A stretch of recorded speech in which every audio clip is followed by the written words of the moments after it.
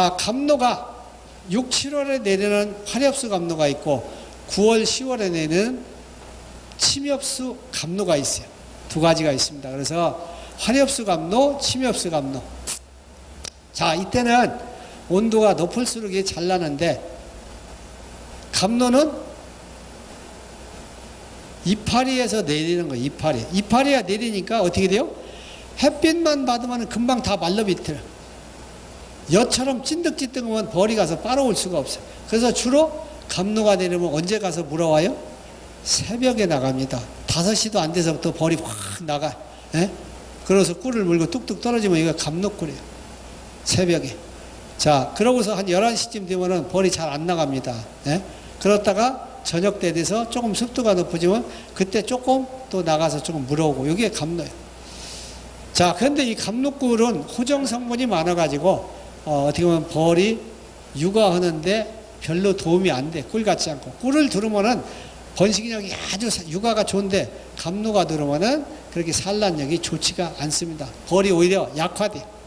자, 9월 하순에서 10월 중순에 이때도 감로가 내리는데 이때는 낙엽송이나 잣나무가 많은 지역 아니면 소나무가 많은 지역 이런 데에서 침엽수 감로가 내립니다. 이때는 침엽수에는 어떤 그 수액을 빨아먹는 벌레가 많은 벌레 종류, 깍지벌레. 깍지벌레가 소나무의 수액을 빨아먹고 한 10%나 20%는 자기 살아가는데 충당하고 나머지는 잔뜩 먹은 것을 어떻게 해요? 버려야죠. 배설해서 버린단 말이에요. 그게 이파리에 묻은 것을 따라오는 게 소나무 감로입니다. 자, 유럽에 가면 대표적으로 감로꿀이 상당히 많아요. 감로꿀이 거기다 뭐라고 써놨어요? 소나무꿀이라고 썼습니다. 소나무꿀. 예?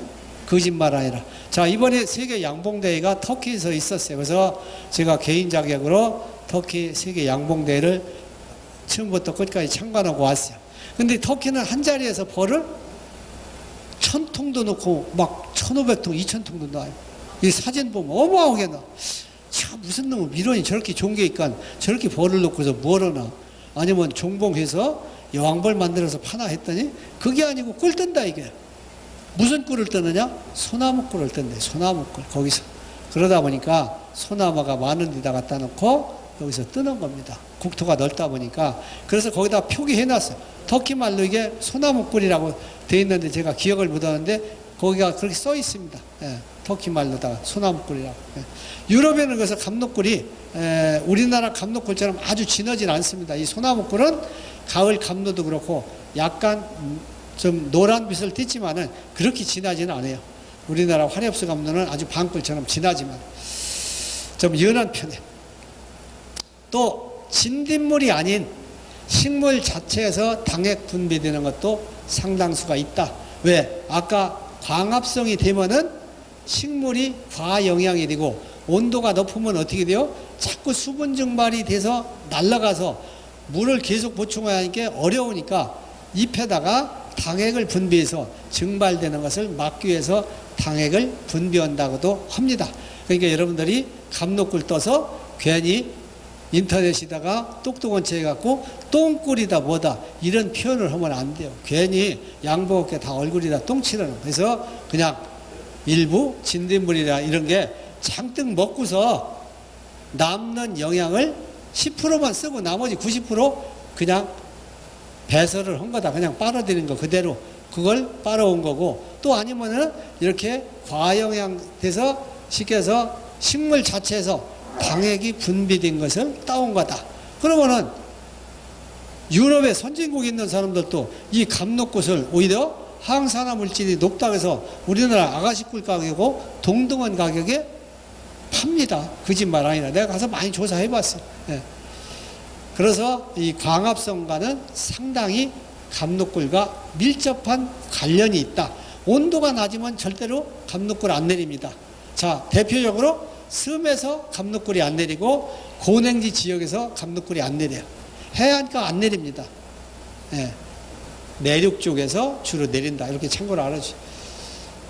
자, 해안가나 구릉지. 자, 해양성 기후일 때 낮 기온이 낮게 낮습니다. 그래서 꿀이 잘 안 나요. 해안가로 여기도 대부로라든지 이쪽에 가면 꿀이 덜 나요. 왜 해안가 가까운 데 갈수록 또 내륙성 기후가 와서 이런 데가 구릉 지역이 높게 올라갑니다. 자, 대표적으로 우리나라에 백령도 섬에도 아가시나무가 있어요. 언제 꽃이 피겠어요? 6월 중순에 꽃이 핍니다. 저도 가보진 않았는데 우리 조합원이 한 사람이 벌을 싣고 거기 갔었어요. 가니까 가는 시간이 너무 길어서 배에서 열받아서 많이 죽는 거예요. 예?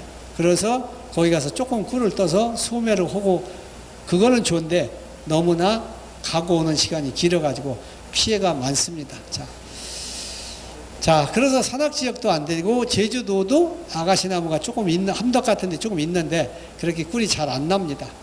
자, 우리나라에서 대표적으로 서해안에 꽃이 늦게 피는 지역 중에 하나가 태안군 가면 신돌이나 하간포라고 있어요.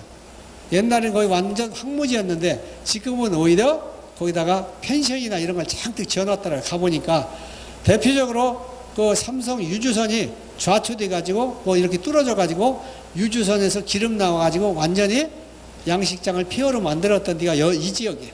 예? 제가 거기 벌을 아가씨 꿀두로 두 번 가봤기 때문에 잘 압니다. 근데 이 지역에 가면은 양봉가가 눈이 휘둥그러져. 왜? 딴 데 꽃이 다 졌는데 6월 달에 이제 꽃이 하얗게 피고 꽃이 피니까 아이고 이런 별천지가 이런 데가 있나. 왜 인제 왔지 내가? 그래서 벌 얼른 싸질머지고 막 가지고 갑니다. 가보면은 꿀이 안 나요. 온도가 낮아서. 냄새만 조금씩 풍기지. 그래서 어, 동네 이장 보고 또 물어봐요. 작년에 왔던 사람들, 그 전에 온 사람들 꿀좀 좀 떠갔지가? 그러니까 어휴 한번 떠갔어. 그냥 떠간 게 아니라 사양 꿀 뜨는 사람이 와서 이 향을 거기다가 덧붙여서 뜰라고 사양 계속 시켜갖고 꿀 뜨니까 동네 사람은 모르니까 꿀 떠갔다 그러는 거예요. 맷돌 한 번씩 떠갔다. 근데 그게 아니라 꿀이 안 납니다. 안 나. 진짜 벌이 하나도 안 오고 벌 조금만 들고 갑자기 기온이 높아졌을 때 한 번 정도 뜰 수도 있어요. 근데 매년 거기는 주인이 바뀌어. 왔다 쏟고서 다시 가고 딴 사람이 와서 또 차지하고 한마디로 예, 유령이 사는 집이나 마찬가지. 예, 왔다가 겁나니까 또 도망가고 도망가고. 예. 자, 그래서 이런 데는 괜히 답사 갈 것도 없고 비용만 할 것도 없고 또 그 해당 화에서 꽃가루만 조금 들어오는데 아무 벌도 오히려 안가니만 묻습니다. 비용만 나고. 예. 동해안에는 동풍 불면은 기온이 20도 이하라 꿀이 안 난다. 이렇게 알으시면 됩니다. 자, 우리나라는 대표적으로 뻗꽃이나 진달래 피는 꽃이 이렇게 핍니다. 바다 제주도서부터 이렇게 해안가로 기준해서 먼저 피고 요 동해안으로 일찍 피고 이 태백산맥의 이 산악 지역이가 제일 늦게 핀다. 이렇게 알으시면 되겠어요. 자, 대표적으로 울릉도에 같은 데 가도 여기 피나무 같은 것도 있고 또 울릉도에 어, 그 뭐가 많더라? 네, 금방 생각이 안 나네. 네. 그 빨갛게 이렇게 가로수나 공원에서 심는 거 있어. 그런 게 산이 가면 내가 성인문까지 올라가 봤는데 그런 게 산이 꽤 많이 있습니다. 예, 울릉도에 가면은. 음. 그리고 참 헛개나무가 많아요. 울릉도에 헛개나무. 예, 그래서 울릉도에서 헛개나무 뜬 거를 이제 이 사람들이 관광객들한테 비싸게 판다고 보셔야죠. 그래서 그 전에 갔을 때는 두 사람인가 세 사람밖에 없었는데 요새는 좀 꽤 늘은 것 같아요. 예. 자, 꽃의 위치 따라서도 어, 꿀이 차이가 납니다. 그래서 한 나무라도 꿀이 가까운 곳이 꿀 분비가 양호하다 이렇게 알으시면 되겠고 또 높은 가지 끝 부분이 꿀 분비량이 저조하다. 아마 영양을 뿌리에서부터 전달하는데 너무 멀어서 그렇지 않은가. 사람도 심장으로 더 가까운 데는 혈액순환이 잘 되다 보니까 영양 공급이 잘 돼서 요 쇄골이나 갈비가 부러지면 빨리 붙습니다. 근데 제일 멀은 발가락이나 손가락 끄트머리가 부러지면 골절을 입으면 제일 오래 있다 붙어요. 심장으로부터 멀은 데일수록에. 그래서 혈액순환이 잘 되도록 해줘야 뼈가 빨리 아물어요. 그러려면 양봉인 입장에서 뭘? 벌침을 맞는 거예요. 골절 입은 데다가도. 적당히 산침을 하면은 그집 말아니라 혈액순환이 잘 돼서 뼈가 빨리 붙습니다. 꽃, 꽃의 일령. 초화, 초화는 처음 핀 꽃을 초화라고 합니다. 그래서 그때보다는 만개 뒤에서 꽃이 성숙되었을 때 꿀이 양호하고 아가씨 꽃은 하루 이틀 지난 다음에 양호하다. 또 유채꽃도 만개가 돼야 꿀도 양호하고 나무 딸기는 개워 60시간 이내가 꿀 분비가 양호하고 해바라기는 개와 첫날이 오히려 꿀이 제일 잘 난다. 방꿀은 초화보다는 마지막에 적할 때 누렇게 색깔이 변했을 때 밤생이가 조그만 게 맺혔을 때 이때 습도가 높을 때가 제일 잘 들어온다. 이렇게 알으시면 되겠어요. 자, 꽃이 피는 차례, 무한 꽃 차례라 해서 줄기 가까운 데부터 자라면서 피는 꽃이 있고 또 이런 꽃들은 유채나 무나 양배추 등 여러 가지가 있고 두산 꽃 차례에서 꽃 둘레에서 안쪽으로 피는 꽃 이도 해바라기 같은 게 밖에서부터 안으로 이렇게 펴 들어오는 꽃을 두산 꽃 차례라고 합니다. 자, 유한꽃 차례는 꽃이 피어가는 한계가 있는 꽃을 유한꽃 차례. 페랭이라든지 도라지라든지 닭이장풀이라든지 이런 자, 요건 무한꽃 차례. 또 요건 유한꽃 차례. 꽃이 한계가 있어요. 자, 요게 먼저 피고 그 다음에 두 번째 피고 세 번째 피고 이렇게 피는 겁니다. 자. 자, 평지꽃 같은 것도 여기가 먼저 피고 또 그 다음에 두 번째, 세 번째, 네 번째 이렇게 가운데가 이렇게 자, 등나무 같은 것도 또 꽃 피는 게 차이가 있습니다. 자, 밀원수는 여러분들이 내가 여러 번 얘기하지만 양봉하는 사람은 밀원심을 심는 사람이 성공하고 밀원수를 심지 않는 사람은 성공을 하기가 어렵다. 이렇게 알으시면 되겠고 제가 밀원을 심는 동기부여를 하려고 하다 보니까 어떤 구호를 만들면 좋을까 많이 고민 고민하다가 1,050만 밀원 심기 운동 사실 1년에 1000그루를 한 사람이 1년에 1000그루를 5년 동안 아니 다섯 종류 이상을 10년 동안 만 그루 심자는 운동이에요. 근데 사실은 1년에 1000그루 심기는 어렵습니다. 그래서 한 500그루 심는 거로다 말을 만들어 보니까 잘 안 돼. 말이 좀 억양이 그래서 그냥 1,050만 아, 이렇게 만들었는데 뭐 일 말하자면 500 이렇게 갖고 말이 안 되더라고요. 근데 천그루가 전혀 안 되는 건 아니고 하루에 나가서 밀원수를 심어 보니까 돌이 없고 흙만 잘 파지면 한 200주 심읍니다. 어린 거를. 그러면은 봄에 500주 심고 가을에 500주 심으면 충분히 심을 수가 있어요. 예. 내가 심어봤기 때문에. 그러니까 얼마든지 가능하다. 노력만 하면은. 그래서 이 정도만 심어주십사 양봉인들한테 부탁을 드립니다. 또 아니면은 5 플러스 3 운동. 그래서 1년에 시간의 5%, 내 양봉에서 소득의 3%를 밀원수 신고 가꾸는데 좀 해주십사. 왜 학교 보내면 애들도 학원에 되는 게 돈 다니고 영어 학원, 미술 학원, 피아노 학원 뭐 다 다니잖아요. 다 그게 투자하는 거예요. 근데 양봉인들은 자연적인 꽃에서 그냥 꿀만 뜰 줄 알지 밀원에 가꾸고 심는 거에는 너무 등한시한다. 그런 내용입니다.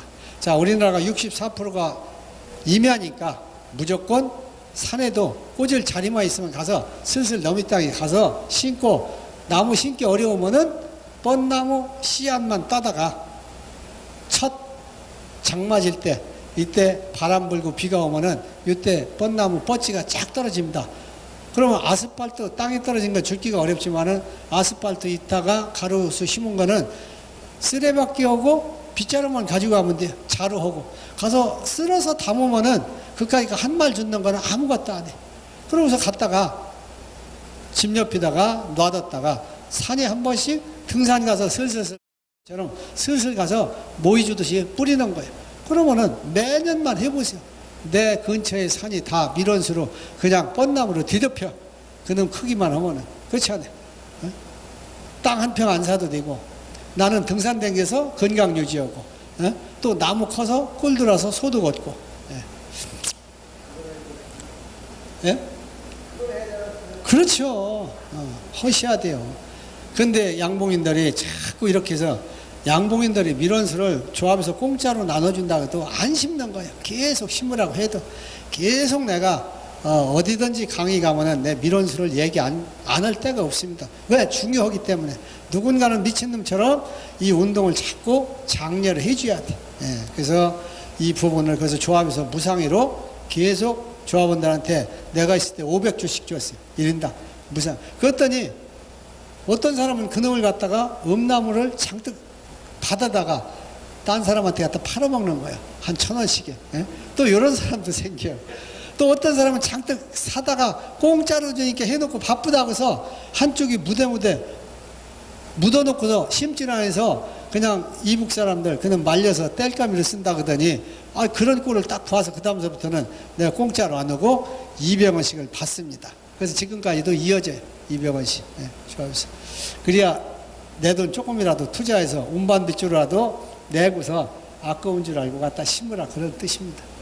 산지를 이용한 거, 휴유지를 이용한 거, 주택가 이용한 거 나중에 가서 읽어보시면은 여기 여러 가지가 있는데 꼭 여러분들이 알아야 할 것이 자생력이 있는 나무를 심어라.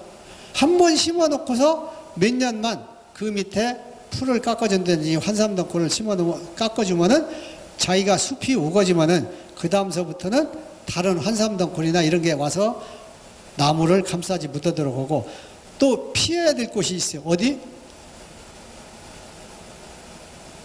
식덩굴이 많은 데는 심은 안 많아요. 그놈이 가서 울타리 매년 깎아주려면 힘이 들어.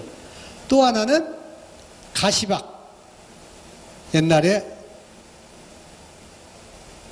뭐요? 수박 대못으로 심던 가시박이라는 게 있어요. 예? 접붙이려고 쓸 때. 가시박이 요새 가면은 뭐 이렇게 가시가 달린 씨가 잔뜩 맺혔어요. 막 옷이 붙으면 옷이 떨어지지도 않아요. 이게 하천변에 있는 데는 다른 나무 아가시나무도 그 억센 아가시나무도 다 죽입니다. 이놈이 뭐 한 10m까지 올라가서 다 이파리가 넓은 걸수다 칡덩쿨을 이겨. 가시박이 칡덩쿨을 이깁니다. 예? 이파리가 넓어서. 그래서 이파리가 넓으니까 광합성을 많이 하고 이래서 어마어마하게 있는 데는 아무 식물도 못 살아요. 예, 그래서 이런 데는 아예 심지 않도록. 또 가시박도 밀원수가 돼요. 왜? 늦가을에 밭꽃처럼 하얗게 피는데 꿀도 나오고 벌들이 역사를 잘합니다. 근데 생태계를 파괴시키기 때문에 이건 밀원수라고 하지도 않고 심으라고도 절대 안 씁니다. 제가 예, 참고로 알았어요. 자 경작지를 이용한 거 앞으로 이제 휴경론이 점점 쌀이 남아돈다. 그럼 일본 같은 데는 한 3분의 1 남아 저 논을 휴경론 해요. 자 우리나라도 많이 하는데 이런 데다가 자운형을 심는다든지 또 물봉성화를 심는다든지 이런 것도 하나의 어, 해볼 가져치가 있다. 이렇게 알으시면 되겠고. 자, 뭐 여기도 시음 앞으로 꿀벌 연구에 또 아니면은 여러분들이 시음, 양봉, 뭐 이기 졸업생 같이 모여서 어떤 단체로 만든다면은 같이 공동의 작업을 해서 여기 기술센터에서 묘목 좀 길러다고 그는 가지고 우리가 밭에다 재배해가지고 길러서 어지간히 키워서 여기 도로가 새로 딱 뚫렸다. 그러면은 거기다 가로수 이거를 좀 심어 주십사. 예? 쉬나무나 뭐 아니면 호깨나무나 뭐 적당히 거기 맞는 나무를 해 주시면은 누이 좋고 외부 좋고 예. 이런 결과를 얻을 수가 있습니다. 자, 북한 지역에도 어 진짜 황무지 산에다가 지금 아가씨 나무라든지 또 아니면은 피나무라든지 이런 걸 심어 놓는다면 남북 통일되면은 진짜 우리나라 양봉 할 만해요. 왜? 역마살 낀 사람들이 자 백두산까지 갔다 올 수도 있고 또 아가시아가 땅덩어리는 좁지만은 남한에서 1차, 2차, 3차를 봅니다. 자, 남북 통일이 되면은 4차, 5차까지 봐요. 예? 개성 가서 평양 가서 한번 뜨고 신의주 가서 한번 떠. 그러면 무조건 5차는 기본입니다. 자, 근데 북한 신의주에 있는 아가씨 나무를 누가 와서 꿀을 떠가요? 중국의 양봉인들이 단동에다가 갖다 벌을 놓고서 그 압록강 넘어 있는 아가씨 꿀을 떠가는 게 현실입니다. 네, 참고로 알으시. 자, 그리고 그쪽에 피나무가 엄청나게 많아요. 그래서 피나무 꿀도 떠올 수 있고 좋습니다. 옛날에 외정시대는 그쪽 만주로다가 기차에다 싣고 가서 피나무 꿀도 뜨고 뭐 또 이렇게 해온 옛날 돌아가신 선배들이 있어요. 자, 가로수를 좀 많이 심어 주십사 이렇게 부탁을 드립니다. 가로수는 심어서 어지간히만 켜놓으면 나머지는 시에서 싹 관리해요. 예? 그러니까 진짜 손 안 달고 코 푸는 거예요. 예, 그지는 처음만 갖고 놓으면 제가 보니까 그래요. 자, 그래서 가로수 제가 양주에 저 광정면이라는데 한 3kg 심어놨어요. 시우나무가. 지금 큰 거는 이만씩 옵니다. 예? 근데 자꾸 개발이 돼서 상가가 들어오고 공장이 거기다 들어오면은 자기네 간판 안 보인다고 싹 비워비려 사람 환장하게. 예? 그래도 또 살아남는 게 꽤 있어요. 그래서 심으세요, 심어. 자, 뭐 권장 수종은 쉬나무, 음나무, 피나무, 모감주, 뻔나무, 동백, 광나무, 헛개나무, 해화나무 다 개화 시기가 틀리는 것들이 많이 있습니다. 아, 그래서 여러 가지 지역 들어서 먹이나무 같은 거는 가시가 달렸는데 따뜻한 지역에 많이 익는데 이런 데다 심는다든지 또 광나무도 마찬가지로 상록수인데 따뜻한 지역에서만 가능합니다. 자, 동네 안길이다는 여러분들이 해양목 심어서 잘 갖고 놓으면은 봄에 봄벌 길르는데 왔다야. 진짜 거짓말 아니라 남쪽에 안 내려가도 벌이 잘 큽니다. 해양목. 또 접시꽃 같은 거 심어놓고 매년 단연생 수권초기 때문에 한 번 심어는 계속 펴서 예 그래서 이렇게 심어주십사 부탁을 드립니다. 자 가로수는 요걸 알으셔야 돼. 내가 이거 생각해서 지는데 직경이 어지간히 시- 크야 시에서 군에서 사서 심습니다. 예? 찍은 거 안 심어요. 거기다 삼각주 때 어린 걸 나는 힘드니까 어린 거 갖다 다 심어서 손가락 새끼 손가락 많은 거 예측으로 다 잘라져. 그래서 어떻게 됐어요? 거기다 말뚝도 박아보고 그래도 안 돼. 그래서 그 다음에서 아이디어가 뭐예요? 잡아라 호스. 요만한 걸 사다가 20cm를 잘라. 그리고 토비로 싹 켜. 거기다 싹 끼워놔. 그러면 요게 예측으로 할 때마다 빙빙빙빙 돌으니까 나무가 잘라지지 않습니다. 그래서 커면은 쫙 벌어져 가면 이게 빠져나와. 그렇게 해서 다 양주 같은데 다 그렇게 해서 킨 거예요. 그냥 킨 게 아니라 거짓말 아니라. 예? 내가 이제 하다 보니까 별 요령이 다 생기는 거예요. 자, 심근성 태풍으로 넘어가지 말아야 돼. 그래서 아가시나무 같은 거는 가로수로서 옛날에 심었지만 안 맞습니다. 자, 가지를 잘라주면은 적절하게 우미 잘라야 돼. 또 가지가 바람에 잘 부러지지 말아야 돼. 부러져서 헛개나무 같은 거는 잘 부러집니다. 나무가 약해, 감나무처럼. 그래서 이런 거는 가로수로서는 적당하지 않다. 또 주민들이 싫어하면 안 돼. 아가시나무 같은 건 주민들이 싫어해서 막 심지도 못합니다. 예? 또 미관상 아름다운 수영을 형성해야 되고 꽃이 또 아름다워야 돼. 또 병충해 강해야 돼. 맨날 가서 시청의 직원이 공원녹지과 직원이 맨날 고압 분무기 갖고 약 치러 다니면 안 된다. 그런 약 안 심는다. 그런 나무는 공해 또 강원 수중에 차가 다니며 매연을 많이 하니까 이런 거를 피해야 되고 척박한 토양에서도 잘 자라는 수종 개화가 동시에 이루어지는 것으로서 조생 중생 만생을 골고루 심어놓으면 상당히 도움이 된다. 어떤 사람은 가로수 심으면은 매연 때문에 공해 물질이 발생해서 오히려 꿀도 안 좋은 거 아니냐. 사실 가로수 심어서 꿀 뜰 정도 하기는 쉽진 않고 보조미로 넣었으면 해준다고 해도 상당히 도움을 봅니다. 자, 유럽에 가는 피나무가 가로수로 심어진 데가 많고 또 아니면은 아까 그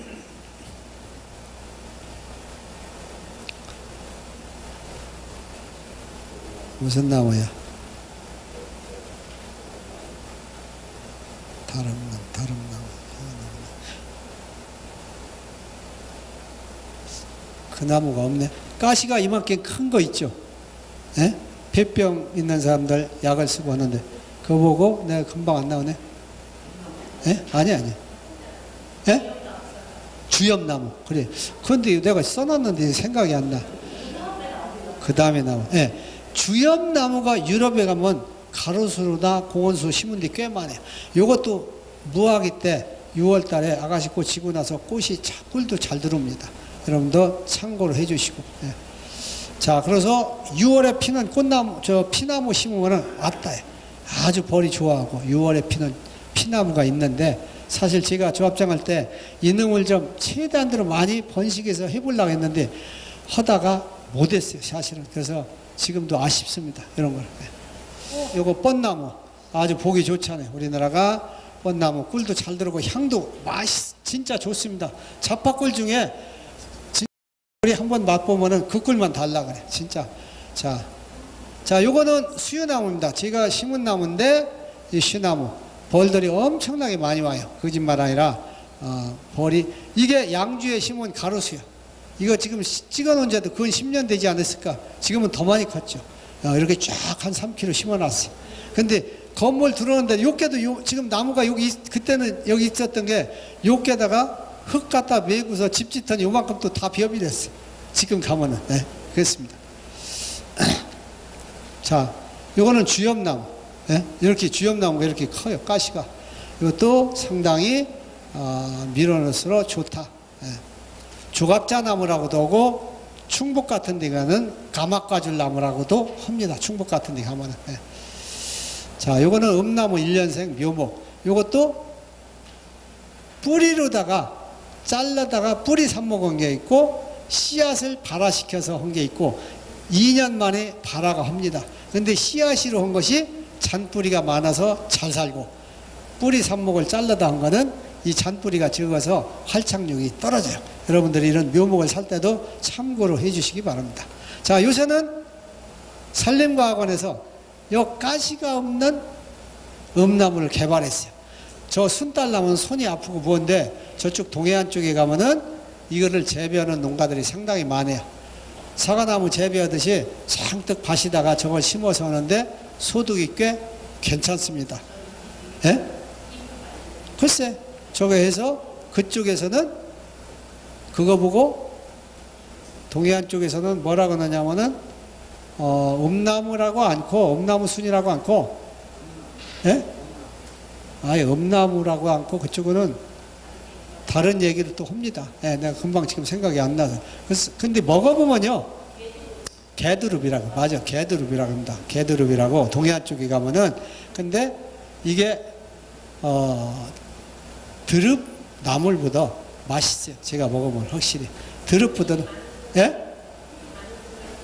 예, 예, 맛있습니다. 예. 예.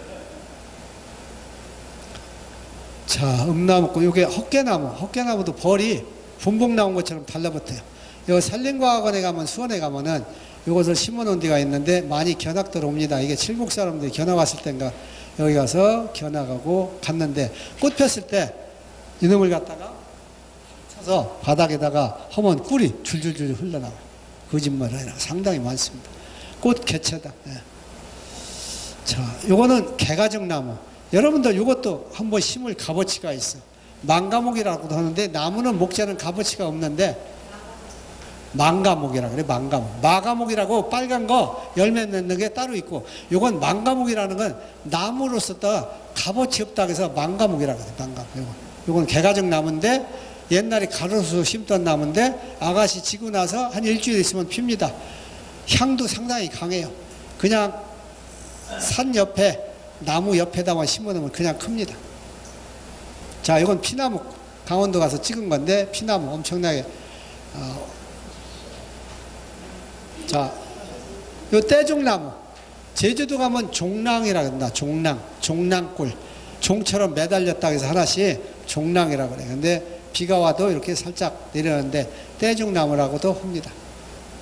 자, 요건 모감주나무 이렇게 노랗게 피는데 벌도 좋아하고 6월에 피는데 가을 되면은 꽈리에 씨처럼 여기가 두 개, 세 개, 한 개씩 이렇게 달려 있어요. 열매가 이쁩니다. 예. 꽃도 보고 열매도 보고. 자, 중국의 절강성에 갔더니 어, 항주에서 그 봉지우 그룹이라는 데까지 80km를 고속도로를 새로 개설했어요. 85km를. 근데 80km를 이 모감주 나무를 양쪽에다가 다 그 당시에 가로수를 심은 것을 이제 심은 지 1년짜리니까 조그마니까 딴 사람들은 그게 무슨 나무인지 모르지만 내 눈에는 그게 모감주 나무라는 게 태뜸 보이는 거예요. 걔 눈에 똥만 된다고. 예? 그래서 야 중국이라는 데가 이렇게 양봉가들을 위해서 모감주 나무를 80kg를 심었다. 생각해 보세요. 얼마나 양봉인들한테 좋은 일이겠어요. 자, 요건 연백국화 연천군에서 처음 나왔다 해서 자, 자 여기 화이트 놓고서 심었다 해서 나옵니다. 자 나이아가라 폭포 여러분들이 가보시면은 이 연백구가가 거기 있는데 거기 있는 건 진짜 문열이처럼 조그만 우리나라 거는 진짜 내 세상 만난 것처럼 무성한데 똑같은 연백구가인데 거기가 아주 쬐끄맣습니다. 내가 가서 봤는데. 예. 자, 해화나무. 옛날에 궁궐안 같은데 이게 상당히 귀중나무처럼 심어놨었어요. 요새 가로수도 많이 생 참종나무도 밀원수가 상당히 좋고 향도 좋습니다. 나무도 목재 가치가 좋아서 이런 아름다리로 큰 게 있으면은 나무도 가격으로 엄청나게 비싸요. 최고급 목재가 됩니다. 예, 이거 옛날에 뒤에 담벼락 쪽 뒷 담장에다 쭉 놓고 이렇게 울타리를 하고 했어요. 가죽나무로 하는데 참죽나무, 참죽, 참죽나무, 예, 예, 가죽나무라고도 합니다. 자, 익모초도 상당히 민원이 괜찮습니다. 이것도 자기 스스로 살아서 씨떨어서 또 나요. 자, 마로니에 요새 칠엽수락에서 프랑스 같은 데나 유럽에 가면 많은데 그쪽 사람들 한 두 번씩 꿀 뜬다고 하는데 이것도 아가씨 전에 예, 꽃이 핀다. 이렇게 알으시면 되겠어요.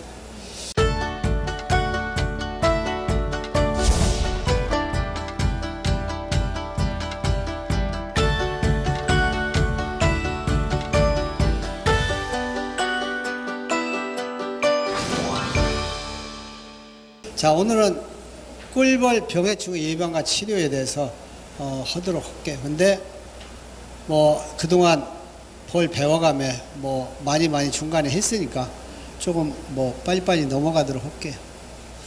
자, 꿀벌에는 자, 유충에 걸리는 질병이 있고 성충에 걸리는 질병이 있고 응애로 인한 피해가 가장 심하고 해적, 장수말벌이라든지 등거물말벌, 뭐 거미, 수충, 개미, 두꺼비 등 뭐 때로는 요새 새도 봄 같은 때 벌을 잡아먹습니다. 일부. 예. 자, 미국 부조병 유충에 걸리는 질병 중에 미국 부조병, 유럽 부조병 크게 두 가지가 있어요. 자, 요것만 안 걸리면은 그런 대로 큰 피해 없이 넘어갈 수가 있어요. 다른 질병보다도. 자, 그래서 발병 원인은 박테리아 일종인 바실리스 라바라는 이런 것이 먹이를 통하여 위로 들어가서 발병을 합니다. 또 감염된 벌통이나 소비나 이런 데에서도 남이 병 걸린 거를 그냥 얻어다 쓰면은 발병되는 경우가 많아요. 그래서 남이 통 공짜로 준다고 해서 갖고 왔다가 오히려 그게 큰 화근이 되는 경우가 많습니다. 그래서 언제든지 불로 소독한다든지 낙수물에 담갔다 쓴다든지 아니면은 병 걸렸었는지 안 걸렸었는지 확인하고 쓰셔야 돼요.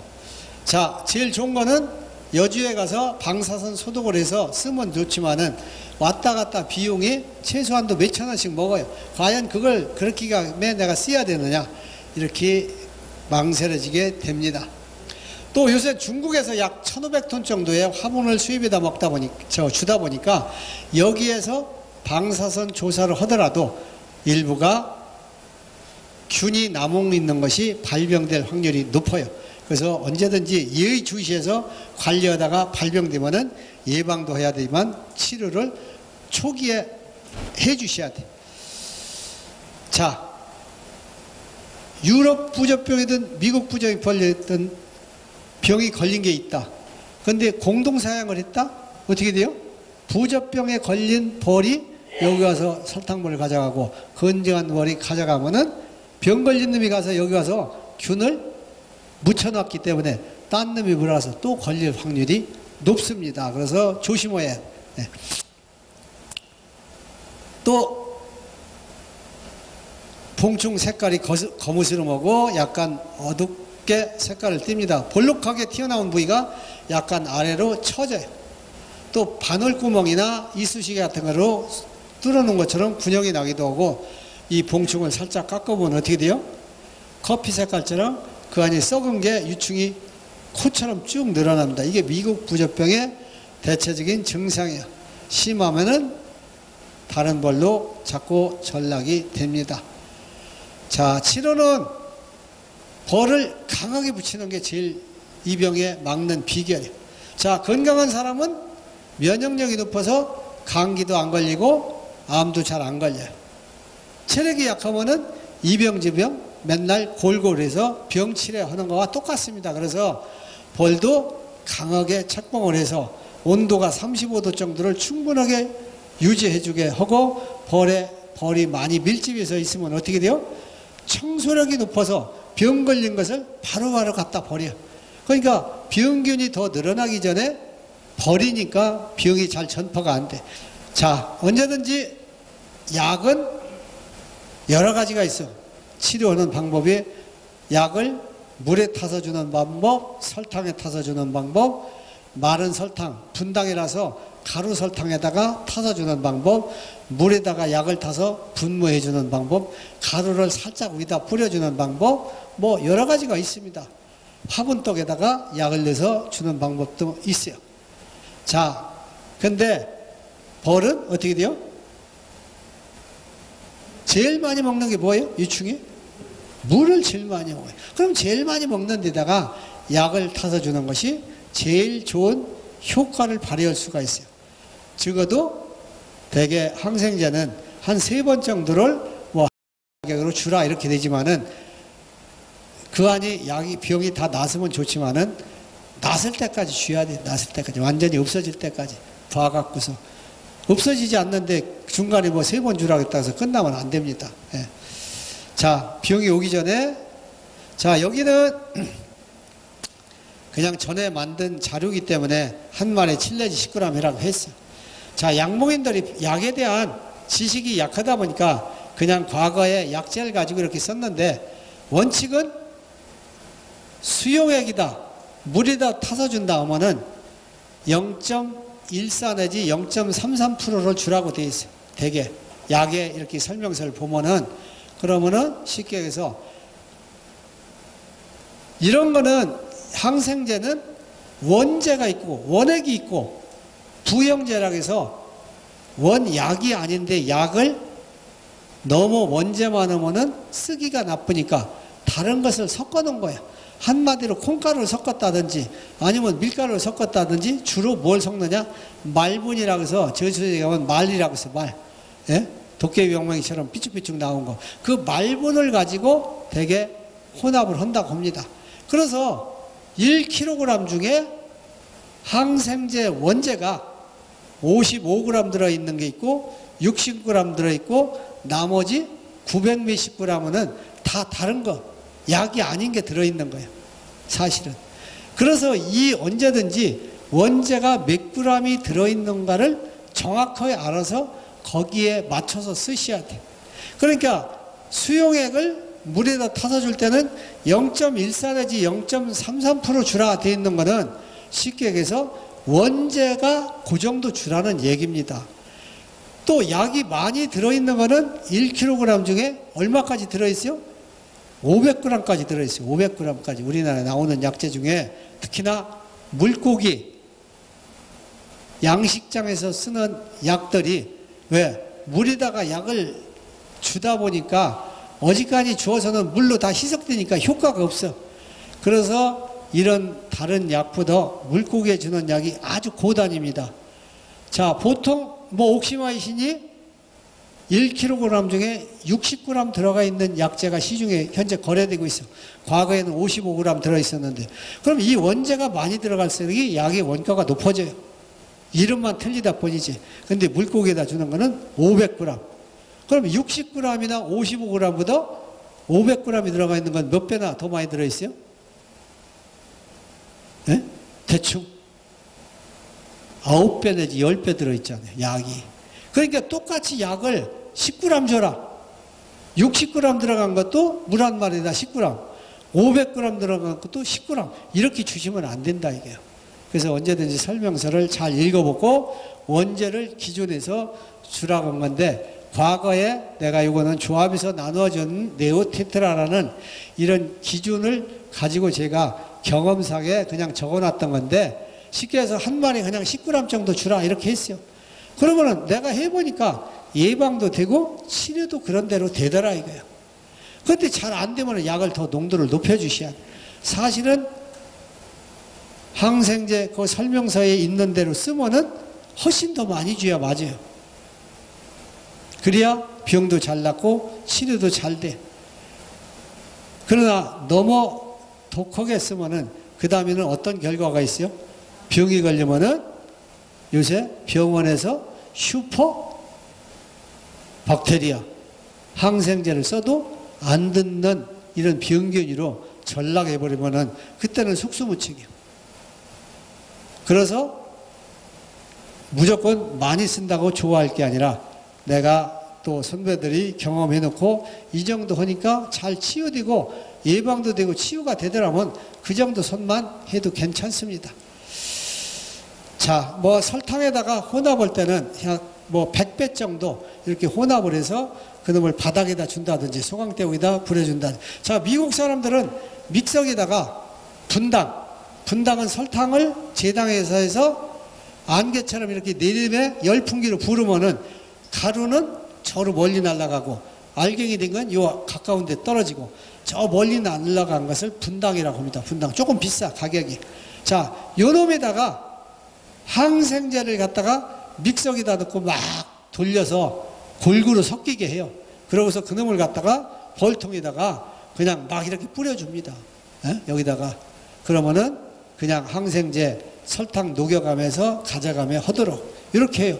그래서 미국이라는 나라는 캐나다도 그렇고 항생제 수치가 상당히 완화돼 있어요. 300pp로 아주 뭐 기준도 없을 정도로 왜 약을 막 쓰니까. 어. 그래서 어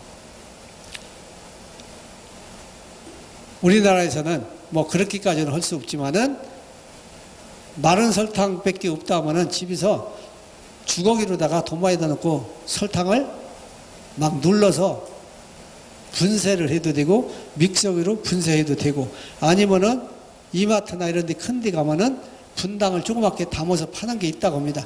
이걸 잘 흔들어서 혼합해서 쓰셔도 됩니다. 한 100배 정도로 타가지고 약이 10g이라면은 쉽게 해서 1kg 정도 100배면은 그렇게 되겠죠. 예. 자, 약은 더운 데서 두면은 약이 빨리 분해가 돼요. 그리고 추운 데서 두면 오래 지속되고 30도씨 이상에서 보관하지 않는 것이 좋습니다. 그래서 양봉장에다가 텐트 안에다 쳐놓고 여름에 그냥 문 닫아 놓고 두면은 50도, 60도 올라가요. 그런데다가 약 두지 마시고 약은 쓰고서 봉지에 산소 공기를 접촉하지 못하도록 공기를 딱 빼고 박스 테이프로다가 딱 봉으면 새 봉지처럼 됩니다. 보관할 때 그렇게 꼭 해주시고 그래서 요거는 여러분들이 수정을 해서 뭐 적어도 2% 정도 수용액을 원재료다가 쓰라. 아, 자꾸 이제 어, 이렇게 하다 보니까 헷갈려서 어, 그전에는 500g짜리를 잘 양봉업계에서 안 썼는데 요새 쓰다 보니까 이제 원재를 중심으로 여러분들을 배우셔야 돼요. 예? 어떤 방법이 제일 좋은 거는 부저가 있었던 거나 예방은 봄부터 조금 예방 차원에서 주세요. 처음부터. 예. 첫 장, 두 장이든 세 장이든 이때 병이 오지 말아야 돼. 첫 번에. 무슨 얘기인지 모르세요? 첫 번 길르는 착봉 소비가 병이 오면은 그 다음부터는 어려워져요. 제가 경험상. 그러나 첫 번에 이거를 병이 없이 작년에 있더라도 고치고 넘어갔다. 그럼 이때서부터 착봉이 좋고 청소력이 좋으면은 여기 병균이 좀 있다 하더라도 정수원 소비들이 그냥 차고 넘어가는 경우. 그래서 그 다음에는 한 번씩 예방 차원에서 덜어덜어 주시면 됩니다. 자, 걸렸다 하면은 낫을 때까지 주시고. 왜? 제일 편리해요. 물 주, 물에다 타서 주는 것이. 근데 물에다 타서 줄 때 조심해야 될 게 뭐냐? 항생제가 반감기라고 있어요. 반이 약으로 줄어드는 시기. 이게 반감기라고 합니다. 자, 선진국일수록이 좋은 약일수록이 빨리빨리 분해가 되는 약이에요. 후진국일수록이 원가가 싼 오래 지속되는 약제를 씁니다. 그래서 우리나라에서 대표적으로 크로람페니콜 같은 거는 쓰지를 않습니다. 쓰지 무덕의 법의로 제재를 하고 중국 같은 데서는 쓰고 있어요. 양봉 농가들이. 자, 이런 거는 한번 몸속에 들어오면은 분해가 안 돼. 그러니까 어떻게 돼요? 내가 자식을 낳으면은 그 유전자까지 변형을 가져올 수 있다. 또 암을 유발한다 해서 이런 약제들은 후진국에서만 씁니다. 네, 참고로 알으시고. 자, 이렇게 미국 부적병은 군형 뚫린 데다 또 아니면 깎아보고 하니까 코처럼 이렇게 갈색 색깔이 나요. 쭉 늘어나고. 이렇게 자, 여기 빈 군형이 엄청나게 많죠. 자, 제가 이해를 돕기 위해서 뭐라 그래요? 바둑 두는 거와 비교를 합니다. 흑돌과 백돌. 자, 요거는 백, 요거는 흑, 빈 군형은 흑, 크다가 다 죽어서 빈 군형이 시커머니까 흙이 이렇게 우세우면은 엄청나게 이 병이 심은 거예요. 흙이 언제든지 벌을 봐서 흙은 10% 미만이어야 돼. 그래야 정상적으로 커다가 일부 죽고 일부 여왕벌이 안이 안 난 자리도 있고 이게 정상적인데 10%가 넘으면 그때서부터는 이상한 눈초리로 바라봐야 되고 진짜 자세히 봐서 빨리빨리 약을 쳐서라도 어, 나을 수 있도록 더 번지지 않도록 이렇게 해주셔야 됩니다. 자, 그리고 이게 볼록볼록 올라와 있는데 볼록 렌즈처럼 이렇게 올라와 있어야 하는데 거꾸로 이 병이 걸리면 이렇게 아래로다가 함몰합니다. 예? 이렇게 아래로 이런 거다 죽어 까보면은 다 이렇게 돼 있어요. 이런데 이런데 아래로 처진 거 다 마찬가지로. 자, 이런 소변을 갖다가 얼른 벌 털어버리고 벌은 그냥 다른 데다가 보태주시고 빨리 태워버려야 돼. 아까워하지 마시고. 자, 또 특히나 이런 벌 소비를 아까워해서 위에 저밀방에 꿀이 잔뜩 들어있어요. 요 위쪽에. 그러면은, 아이고, 그놈 파다가 먹어라 하고 봉장 밖에다 갖다 그냥 놔둬서 빨아가기만 안 돼. 왜? 그 소비 옆에 병 걸린 데 와서 다 묻어서 다 걸리는 역할이 됩니다. 그래서 절대로 아까워하지 말고 바로 땅에다 묻든지 태워버리라. 땅에다 묻어도 오랜 세월 동안 그 균이 잠복하기 때문에 태우는 게 제일 좋습니다. 유럽 부적병은 저렇게 봉충이 봉하기 전에 어릴 때 죽어요. 봉하기 전에. 에, 그래서 대개 언제든지 3, 4일 자란 유충이 감염된 것을 볼 수가 있어요. 자, 청수를 미쳐 아까 이러는 사람보다 쉽게 해서 장례를 지르는 사람보다 죽은 사람 숫자가 많으면 어떻게 되겠어요? 미처 시체를 다 갖다 묻어 버리고 갖다 밖에다 버릴 수가 없잖아요. 벌이 착봉이 약하면 그렇게 됩니다. 그래서 병 걸려서 죽은 시체를 많이 볼 수가 있어요. 근데 착봉을 강하게 해서 장례를 치를 사람들이 많다. 그러면은 그냥 병 걸리는 대로 쪽쪽 갖다 버리니까 눈이로 양봉 농가가 볼 수가 없어. 그러니까 요때 착각을 해서 병이 걸린 걸 모르고 넘어가는 경우가 종종 있습니다. 거짓말 아니라. 그래서 언제든지 가서 3일 내지 4일 정도 큰 유충. 지난번에 노열질이 할 때 2충을 하는 것보다 좀 더 하루나 이틀 정도 더 큰 거. 이런 것이 병이 걸렸나 안 걸렸나. 아니면 동등하게 그 나이대에 들인 어린 유충에서 뽑아낸 자리가 많은가 적은가 이것만 보고서 알아내면 돼요. 예? 그리고 이 병이 걸리면은 머리로부터 몸뚱이가 색깔이 누르스름하게 변합니다. 자, 병이 걸리면은 일벌들이 어떻게 돼요? 죽은 자식에다가 먹이를 죽었어요? 안 죽었어요? 안 주죠. 그러니까 죽은 자식은 거기가 젖이 별로 없어요. 때로는 미리 많이 주어놓은 것이 못 먹고 거기서 죽어 있어서 젖이 남아 있는 것도 있지만은 대개 이 병이 걸려서 시름시름 앓으면 그때서부터 먹이를 안 줘서 죽여버립니다. 자, 유충이 그래서 빡빡하게 보인다든지 누런 색깔을 댄다든지 또 이 여왕벌은 어떻게 돼요? 산란을 어디를 제일 먼저 허갔어요? 제일 좋아하는 데가 예? 가운데 그렇죠 이 소비라고 하면은 이 가운데를 중심으로 해서 계란위로 됐다 타조알 됐다가 이렇게 점점 점점 커집니다 예? 시간이 지나면서 근데 부저가 걸려서 여기 있는 것이 자꾸 뻐근했다 그럼 여기가 빈 군형이 자꾸 생기니까 여기 알가다 보니까 점점 점점 계란이 거위알 됐다 타조알 됐다 귀살란을 다 가야 하는데 귀살란이로 확대를 안 되고 자꾸 여기 가다 보니까 여기 집착해서 알 가다 보니까 산란이 확대가 안 돼. 안 가다 보니까 여기가 초생달처럼 쫙 선이 그어지 하는데 그어지질 않아. 그래서 여러 가지 증상을 가지고 병이 왔나 안 왔나 알아낼 수가 있습니다. 자, 사람이나 벌이나 마찬가지로 건강하면 얼굴에서 나이가 먹었던 젊든 윤기가 나고 소비도 건강하면 윤기가 나고 색깔이 좋은데 이 병이 걸리면은 봉충이 생겨도 거무스러움에 윤기가 안 나고 색깔이 지저분합니다. 그러면 뭔가 이상하다 생각을 해야 돼. 자, 여기 보시면은 흑돌이 이거 얼마나 되겠어요? 예? 몇 프로나 될 것 같아?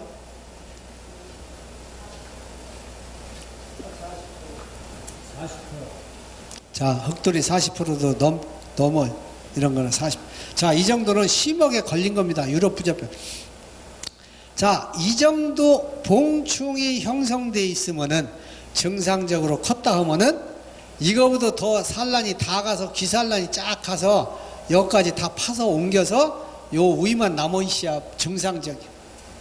근데 여러다가 확대해서 알을 날 시간적 여유가 없이 여기서 죽은 시체 군형이다만 알 낳기가 바빠. 예? 딴데 갈 것도 없이 머는데 갈 것도 없이 이 안에. 그러다 보니까 여기다는 알라서 길르다 죽고 또 알라서 길르다 죽고 계속 이게 반복되는 거예요. 그래서 이 산란권이 확대가 안 됩니다. 예? 요만큼 가고서 안 가는 거예요. 자, 요것도 상당히 심한 편이에요. 이 정도만 돼도. 근데 이 정도 되면 사람들이 병이 걸렸는지 안 걸렸는지 채워보지 않은 사람 몰라요. 그냥 넘어가. 예? 근데 이 정도도 상당히 병이 심하다. 이렇게 알으시면 되겠어요. 자, 요거는 병이 그래도 요거 중에는 제일 네 개 중에 난 편입니다. 요거는 그래도 요만큼 빼놓고는 어떻게 돼요? 다 알을 가고 있어요. 근데 빈 군형이 크다가 뽑아낸 자리가 이 검은 돌이 많아요. 이것도 뭐 한 25%뭐 이렇게 될라나? 에? 30%는 좀 안 될라나? 이 정도도 상당히 안 좋은 상태입니다. 자, 요거는 더 말할 것도 없이 더 안 좋아. 자, 여기 봉충이 이 정도 있으면은 이건 뭐 5%도 될라나 말라나 나머지는 다 90% 크다가 다 죽은 거예요. 한마디로. 예? 싹쓸이 하다시피 한 거죠. 그래서 이런 증상이 오면은 봉충이 색깔이 제대로 됐느냐 아니면은 주저앉았느냐 군형 떨어졌느냐 아니면은 크다가 이렇게 파냈느냐 요걸 가지고 부조병이 증상을 여러분들이 파악하시면 되겠어요. 자, 이런 거는 죽었는데 시체를 미처 뽑아내지 묻은 유럽 부조병입니다. 자, 이런 거 지금 주저앉아 있어요. 아, 이런 게 자세히 보시면은 이게 주저앉아 있습니다. 뽑아내질 못한 거예요. 자, 자, 여기 자세히 보시면은 뭔가 아까 누런 색깔을 띈다고 했잖아요. 예? 자, 이렇게 보시면은 누런 게 보이죠? 예? 요게 유럽 부조병이 와서 병 걸려서 지금 죽고 있는 겁니다. 죽어 있는 거, 이런 거. 아, 이렇게 보면은 벌을 털고서 햇빛이다 봤을 때 이렇게 보시면 알 수가 있어요. 자, 미처 이것도 갑자기 많아지니까 시체가 많아서 아직 운반을 해서 버리지를 못한 상태. 자, 여기도 여러 가지 상황이 있어요. 자, 이 정도가 되면은 한 15% 정도 걸린 겁니다. 내가 세 봤더니 죽은 거고 살아있는 흙과 백을 계산해 봤더니 한 10몇 프로 돼요. 이 정도가 되면은 초기 증상이다. 이렇게 알으셔야 돼요. 초기에 벌써 이 정도. 유충일 때 알았으면 더 좋지만은 유충일 때 어려웠으면은 요것도 마찬가지. 요거는 뭐 한 20%, 25%, 30% 되건, 예? 25%에서 30% 사이. 이 정도는 좀 심어. 자, 요 소비는 좀, 좀 특이해요. 자, 여기는 쉽게 해서 엄청나게 10억에 걸려서 뭐 15%그 정도밖에 살아남질 못했어요. 요거는 뭐냐면 또 자세히, 자세히 보시면은 무정란을 낳은 거예요. 무정란. 일벌이 알을 낳은 거예요. 자, 일벌이 알을 낳으면은 대개 벌들이 평상시 벌 같지 않고 청소력도 약해지고 방어력도 약해지고 벌이 밀집을 안 해. 청소력에. 그러다 보니까 갑자기 없던 병이 백목병도 생기고 부적병도 걸립니다. 그래서 무정란을 두면 오래 두면 안 돼. 자, 그래서 요거를 발견해서 어떻게 했어요? 다른 벌통에다가 넣고 약을 했어요. 그랬더니 요만큼 아까 그 전 것처럼 산란이 확대되지를 않았는데 이건 확대가 됐어요. 어디까지? 여기까지, 요까지 이렇게 다 간 겁니다. 요까지 다. 예? 왜? 나머지는 약을 해서 어느 정도 이렇게 깨끗이 크고 있는데 일부 여 흙돌 군형이 그래도 한 10%대는 이상 생기고 있다. 그렇지만 이거보다는 엄청나게 좋아지고 있다. 이때는 항생제만 잘 쓰면은 잘 나설 수 있다. 이렇게 알으시면 되겠어요. 자, 요거는 지극히 정상적인 봉충입니다. 자, 이 정도도 10% 미만이 되기 때문에 이것도 괜찮다. 아주 벌을 정수를 더디게 하면 이런 빈곤형도 더 알을 나가지고 이런 데처럼 깨끗하게 이렇게 하면 제일 좋습니다. 빈곤형도 없이 이렇게 크면은 제일 좋고 자 이런 데도 마찬가지고 그러나 이 정도만 돼도 양호한 편이다. 이렇게 알으시면 되겠어요. 자 벌은 육아 온도 따라서 봉충 면적이 넓어지고 좁아집니다.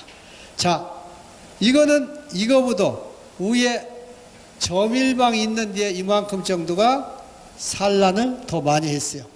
그렇죠? 똑같은 벌 숫자에 똑같은 벌통에서 큰 거예요.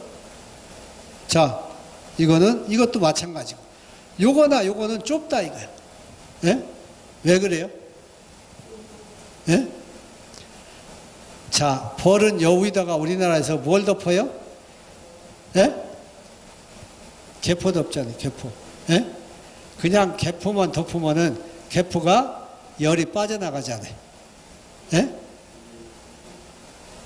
마대개포나 이런 걸 덮으면 열이 빠져나가니까 빠져나가는 지역에서는 온도가 35도를 여기 맞추기가 어렵습니다. 그래서 여기다가 점일실로 활용을 해 꿀을 채워서 휴전선 같은 역할을 하는 거예요. 그런데 이런 거는 뭘 덮었어요? 제가 권장하는 비닐로 개풀.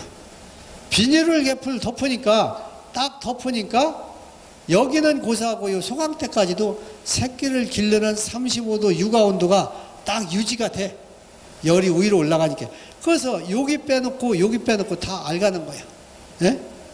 자, 이것도 마찬가지고 여기 조금 빼고 여기 조금 빼고 나머지는 다 기르는 겁니다.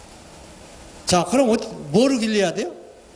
적절하게 비닐개포를 잘 활용하면은 똑같은 벌수에서 똑같은 벌통에서 좀 더 많은 새끼를 길러내서 빨리 식구가 늘어나고 꿀도 많이 뜨고 분봉도 많이 시킬 수 있다. 이렇게 알으시면 되겠어요. 자, 이것도 점점 점점 봉개를 파서 앵겨감에 가는데 아직 여기가 조금 덜 나갔어요. 지금 인저 봉충이 막 봉원 봉충이고 이건 봉원제가 좀 오래된 것들입니다. 약간 시간이 돼서. 자, 이렇게 봉한 것들은 석고병도 걸리지 않아요. 좀 오래된 거는. 이런 걸 갖다 분봉군을 갈르면은. 자, 이런 거로다가 분봉군을 갈르면은 석고병이 찾아옵니다. 걸려요. 분봉군 갈릴 때. 여러분들이 잘 기억해 두세요. 자, 이제 막 봉충으로 봉한 거 있잖아요. 예? 봉하는 거. 이제 여기 이제 큰 유충, 작은 유충, 알. 여기 이제 막 봉한 거, 가인. 이런 걸 갖다가 분봉군을 여기서 갈르다 여기다 놨다. 그러면 어떻게 돼요? 역봉이 자기 집으로 되돌아가고 되돌아가면 여기는 썰렁해지고 썰렁해지면 온도가 떨어지고 온도가 떨어지면은 석고병이 발병할 수 있는 좋은 여건이 돼서 석고병이 하나도 없다가도 장뜩 걸립니다. 그러면 그 다음서부터는 상당히 피해를 입어요. 그래서 절대로 이런 봉충을 갖다 갈랐다. 역봉이 돌아가서 썰렁하다. 그러더라도 이 병이 와서 감염돼서 걸리질 않아. 쉽게 해서 낭충봉화부패병이 동양종에는 오면은 싹쓸이해서 걸리지만은 서양종에는 와본들 별 볼 일 없이 감기증도 걸린 것처럼 그냥 넘어가서 걸린 줄 물러나가 넘어가와 똑같아. 피해가 없는 거예요. 예. 자, 요것도 월동 식량 줄 때 가을에 이렇게 아까 우리가 월동 포장할 때 봤던 가운데 통 같은 거는 요거보다도 조금 더, 더 넓었어요. 그러다 보니까 그놈이 얼추 터져 나오니까 식량을 이만큼 파먹어서 식량이 적은 거와 마찬가지인데 대신에 이것도 봉충이 깨끗하게 크고 있기 때문에 건실한 봉충이다. 이렇게 알으시면 되겠습니다. 자, 유럽 부적병의 치료도 똑같이 미국 부적병과 같이 하면 됩니다. 항생제를 쓰는데 옥시마이신과 네오마이신 두 가지만 허용된 약제니까 이것을 쓰시면 되겠어요. 자, 사람들이 보편적으로 저한테 전화 와서 석고병이 걸렸는데 무슨 약이 좋냐? 부적병이 걸렸는데 무슨 약이 좋냐? 이렇게 묻는 사람들이 많아요. 자, 약 이전에 벌이 병이 걸리지 않도록 면역력을 높이도록 관리하는 것이 첫째입니다. 예? 자, 약을 먹어도 건강한 사람은 빨리빨리 병이 치유가 돼요. 면역력이 약한 사람은 계속 약을 먹어도 병이 잘 안 나세요. 벌도 마찬가지입니다. 그래서 항시 벌 숫자에 맞춰서 1매가 됐든 2매가 됐든 강하게 붙이고 뒤에 여분의 뒷장벌을 최소한도 한 장이나 3분의 가지고서 항시 유지감에 벌을 관리하라 이렇게 부탁을 드립니다. 자, 그게 병을 안 걸리는 비결이에요. 어떤 사람은 뒷장벌을 한 장 반 정도까지도 놓고 기르는 사람이 있어요. 이런 사람들은 부저 잘안 걸립니다. 예? 그냥 바로바로 청소력이 높아서. 근데 이제 한 장 반이나 이렇게 놓으면은 자꾸 여왕벌이 넘어와요. 내가 해보면은 사실. 넘어와서, 넘어와서 또 새끼를 거기서 한 장딱 하면은 또 그때 남겨주고 또 이렇게 해도 됩니다. 그러니까 자꾸 넘어가서 귀찮으니까 요새 양분가들 중에는 관리 방법을 또 달리해서 어떻게 해요? 격리판을 여름에 분봉근 뒤에다가 두 장을 꽂아. 예? 자, 이놈 다 가고 여왕벌이 갈 데가 없다면 여왕벌이 여로 넘어갑니다. 넘어가서 또 격리판이 있으니까 이놈 한 장만 가고 더 가지 말라는 뜻이에요. 근데 날씨가 덥고 여건이 좋으면은 벌이 엉성해도 어떻게 돼요? 한 장 가고서 또 한 이놈도 3분의 1이나 반쯤이 가. 그러면은 벌수에 비해서 너무 육아 면적이 넓어지니까 면역력이 약해집니다. 예? 그래서 벌을 많이 하는 사람들이 보기 싫으면은 이렇게 격리판을 한 장 더 뒤에다가 또 하나 꽂아 놓는 거예요. 그럼 이제 여왕벌이 여기 와서 한참 알가다가 다 가고 나면은 자기가 살던 집으로 또 다시 넘어가.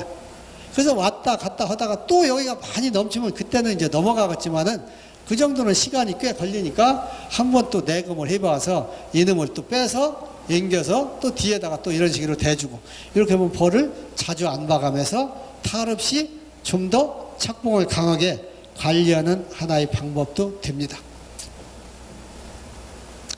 자, 여름에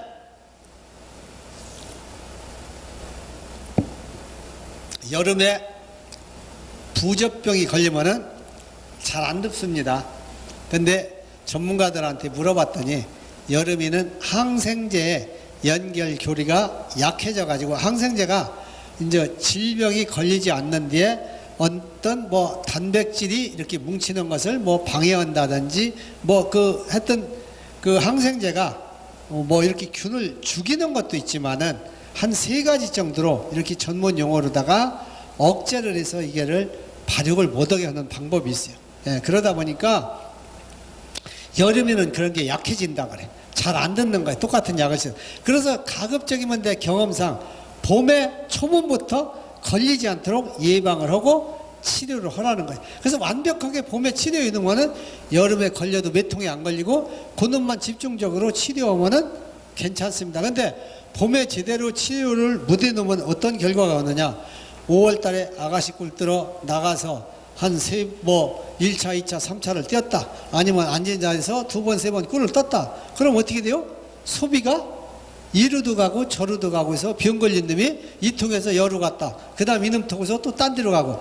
이러니까 몇 통만 있으면 여러 통이 번져요. 그러면 나중에 가서 엄청난 피해가 나타납니다. 그래서 봄에 아가씨 꿀 뜨기 전에 절대로 이런 부조병이 낫지 않으면 안 됩니다. 그래서 어떻게 해서라도 참 낫게 관리를 해야지 절대로 치유를 하고 꿀을 떼야지 치유를 묻은 상태에서 꿀을 뜬다든지 아니면 4월 달에 화분 받을 때 밥 주기 귀찮으니까 공동사양을 때려서 준다든지 그러면은 그 병이 다른 데로 많이 만연이 돼요. 그래서 조심하시기 부탁을 드립니다. 자, 그래서 여름에는 또 잘 안 낳는 이유, 안 낳는 이유 중에 하나가 뭐예요? 벌이 더우니까 착봉이 약해요. 엉성해져. 엉성하게 벌 수에 비해서 많이 달라붙으니까 청소력이 약해져요. 청소력이 약해지니까 병이 잘 안 낫는 거예요. 그래서 여름에는 벌을 시원하게 해주셔야 돼요. 시원하게 해야 그나마나 벌이 조금 더 밀집을 해서 청소력이 높아지고 질병의 방어력이 높아져요. 자, 시원하게 하려면 어떻게 해야 돼요? 시원하게 하는 것은 여러 가지 방법이 있습니다. 제일 좋은 방법은 벌통을 그늘 속에서 기르는 방법. 그 다음에 지금은 아래 저판이 없으니까 어째 옛날 같으면 저판이 있다면은 밑에 환기창을 저판이라고 했어요. 환기창을 열어서 밑에서 찬 공기가 자꾸 슬슬 두르게 하는 방법. 또 한 가지는 개포를 덮을 때 이렇게 광목천 같은 거로 덮는 거와 요새 돈 안 들이고 구청에 가면은 프랭카드를 수거에다가 버리는 것을 그냥 주어요. 나부터도 많이 갖다 쓰는데. 자, 요 프랭카드로 덮으면은 겨울이나 봄벌 길를 때까지는 괜찮습니다. 왜? 이게 어떻게 보면 환기가 잘 안 돼요. 비 오면은 여름에 물이 잘 안 스며들어. 그러니까 장마 때 비가 와도 안으로 물이 안 스며드는 게 좋은 점은 있는데 대신에 비닐우도 아니고 이런 광목이나 마대천처럼 공기가 쭉쭉 빠지는 것도 아니다 보니까 더웁다 이거야. 아내가 더운 날 문 닫아놓은 거와 똑같이. 그러니까 어떻게 돼요? 엉성하니까 병이 안 나서요. 자, 그래서 여름에는 무조건 부조병을 안 걸리게 하려면은 시원한 마대개포 같은 거, 엉성한 거, 이런 걸 덮어주면은 좀 더 벌이 밀집돼서 치료 효과도 높고 질병을 방어하는 능력도 높아진다. 이렇게 알으시면 되겠어요.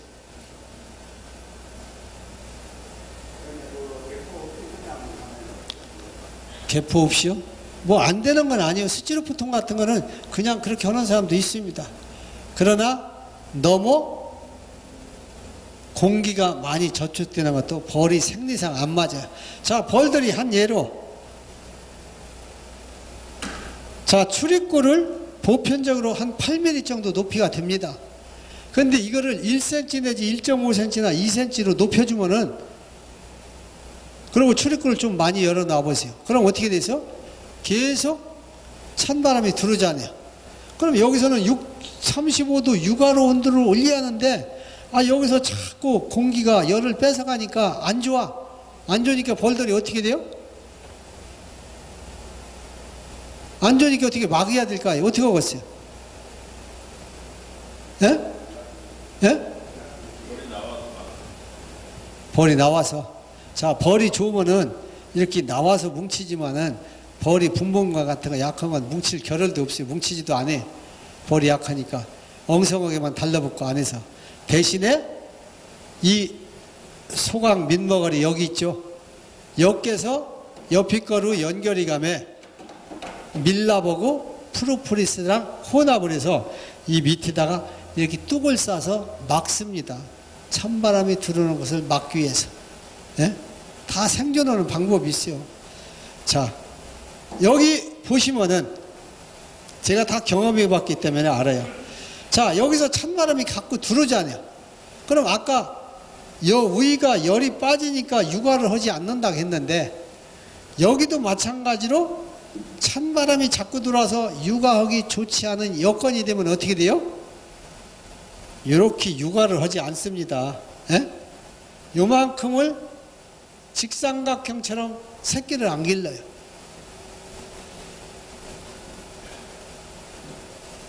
그러니까 출입구를 너무 많이 개방하는 것도 바람직하진 않은 겁니다. 예. 자, 그래서 이런 거는 제가 다 경험을 해봤기 때문에 자신 있게 말씀을 드려요. 그래서 어떤 거는 이게 오랫동안 자꾸 벌을 보면은 뚝을 쌀 겨를도 없는데 잘 안 보고서 그냥 방치해 놓으면은 안에다가 이렇게 싸서 줄리는 것을 볼 수가 있어요. 네.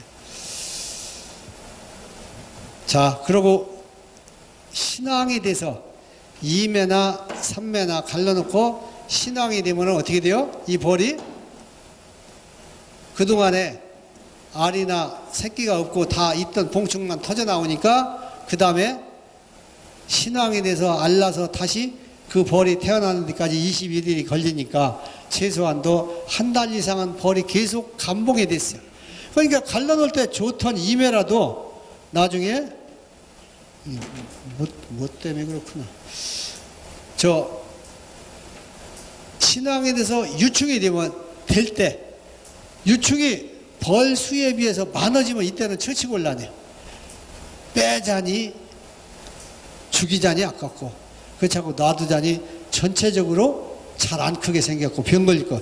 그래서 아예 알을 많이 낳기 전에 필요해야 될 것이 신왕이 되고 나면은 벌 숫자에 맞춰서 앞으로 줄을 것까지 감안해서 벌을 시원찮으면은 1매, 시원찮으면 3매에서 2매 이렇게 줄여주셔야 돼. 그래서 착봉을 언제든지 1매가 됐든 2매가 됐든 3매가 됐든 벌 숫자에 맞춰서 쫙 줄여주셔야 돼. 그래야 요놈이 완전하게 크고 완전하게 크는 동안에 부적병이 안 걸리고 그래야 그 다음서부터 잘 벌이 큽니다.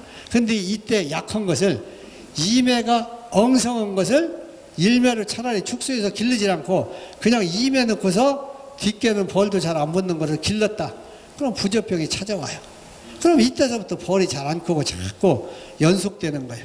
그래서 언제든지 증수는 더디게, 축수는 발견 즉시 언제든지 이렇게 하셔야 됩니다. 그래서 신앙되면 꼭 줄여주시라 이렇게 부탁드립니다. 자, 미국 같은 데서는 타이로신이라는 이런 약제도 많이 사용을 해요. 근데 이것도 선진국에서 쓰는 약제지만 우리나라에서는 식약처에서 허가를 안 해줬어요. 그래서 우리나라에서는 아직까지 쓸 수가 없는 약제입니다. 근데 그래도 옥시마이신이나 또 네오마신 가지고 잘 안 듣는다 할 때는 한번 써볼 만도 해요. 써보는데 너무 과하게만 쓰지 말고 대신에 이거는 1kg 중에 약 500g 정도 들어가 있는 약재라서 상당히 고농도 약재다 이렇게 알으시면 되겠어요.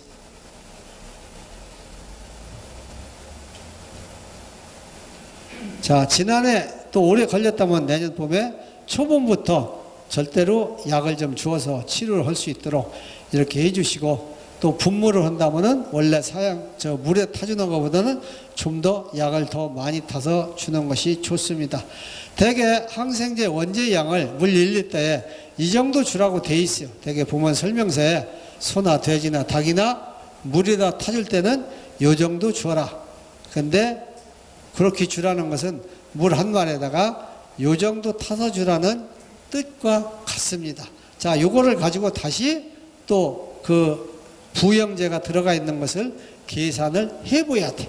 그러다 보면은 물한 마리에 대개 50g, 100g 들어간 약재다 하면은 요 정도 주라는 양과 실제 벌에다가 써보니까 이거보다는 줄여서 과거에 10g 또 아니면 15g 이 정도만 주어도 충분하게 예방과 치료가 되더라. 잘 안 들을 때는 양을 좀 높여서 주시면 되겠습니다. 자, 낭충보매병. 요도 토종벌이 걸리는 건데 여기 토종 길르는 사람 있어요? 없죠? 자, 토종은 바이러스의 일종인데 이게 서양종은 똑같은 뿔벌인데 안 걸리고 요거만 걸려요. 예, 그래서 우리나라 토종벌이 이게 2009년도 10년도에 와서 싹쓸이 했어요. 싹쓸이. 예. 근데 어제는 청양에 가서 손 들어보라 그랬더니 한 100여 명이 강의 받으러 왔는데 한 세 사람인가 토종벌이 있다고 손들더라고. 그랬더니 괜찮으냐 그랬더니 지금도 병이 왔다가 뭐 빌빌대가며 그냥 하고 있다. 그럽니다. 몇 통씩. 자, 중국의 낭충보병 아니면 태국의 낭충보병 바이러스가 원인으로 우리나라에 왔다. 이미 동남아에서는 네팔이나 인도나 태국이나 버마나 다 중국까지 걸려서 싹쓸이 했어요. 거기도 한번 한 차례씩. 우리나라는 좀 늦게 온 거죠. 좀 반도 끄트머리라 그러는지. 자, 바이러스라서 이 백신이 안 됩니다. 백신. 다른 거는 척추동물은 백신이 가능하지만은 나는 또 꿀벌도 가능한 줄 알고 신나게 조합장 할 때 가서 전문가들한테 동물약품 회사에 가서 백신을 좀 만들어 봐라. 그랬더니 안 된다는 거예요.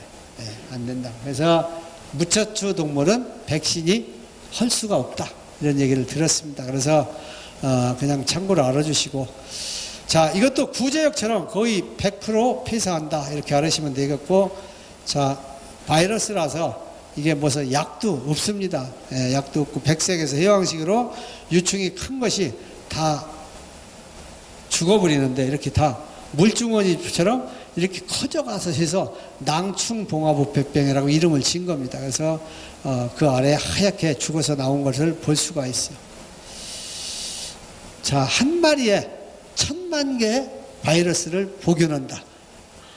죽은 유충 한 마리에 천만이. 그러니까 어마어마하게 번지는 속도가 강할 수밖에 없습니다. 그래서 우리나라의 강원도에서 처음 발견된 후에 어, 지리산에서 그 이름에 싹 걸렸어요. 자, 이렇게 이건 벌통 안에 석고자리라고 해서 뭐 이렇게 석고병에 약을 만들어 파던 이런 플라스틱 각인데 그놈을 넣어놓고 혹시라도 만에 하나 좀 낭충 봉화병에 예방이나 치료가 될라나 하고 사다 넣은 거에 약들 죽게 돈 들여서 근데 아무 무용지물이었어요.